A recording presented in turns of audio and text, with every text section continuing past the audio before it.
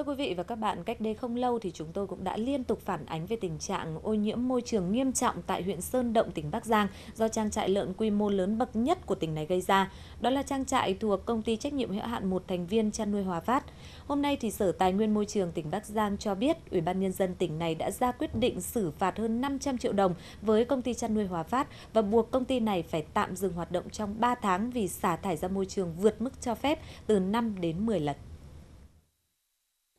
Qua kiểm tra và lấy mẫu, Sở Tài nguyên và Môi trường Bắc Giang cho biết đã phát hiện một số vi phạm về xả thải vượt quá mức độ cho phép của trang trại chăn nuôi Hòa Phát tại xã Long Sơn, huyện Sơn Động.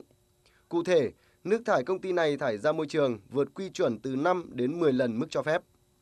Còn với mức độ ô nhiễm không khí thì cơ quan này vẫn chưa đo được. Từ đó, Chủ tịch Ủy ban nhân dân tỉnh Bắc Giang đã có quyết định xử phạt doanh nghiệp này 540 triệu đồng do xả nước thải vượt quy chuẩn kỹ thuật về chất thải và tình tiết tăng nặng là tái phạm hành vi gây ô nhiễm môi trường.